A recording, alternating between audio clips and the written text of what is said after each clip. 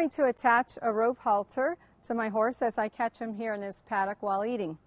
Rope halters are a very affordable, somewhat budgeted piece of equipment that we can all enjoy using. They're designed to be more assertive in the nature of their build. They have a double strand on the nose, which not only helps us orientate the halter to the horse, but it's part of that effective work in trying to maintain good ground manners. So what I like to do is make sure that as I approach my horse, I do have this halter ready, so I won't have any chance of taking too much time and losing the respect of the horse as I go up to put it on. So I'm going to approach him in my quiet manner.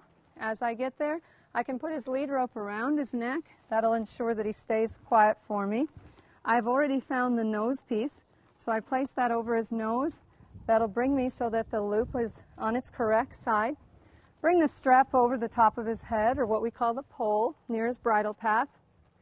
And then I place the end of that rope halter into the loop, make it snug enough, come back up to the top, and bring it so that the, the loose end is now pointing downward.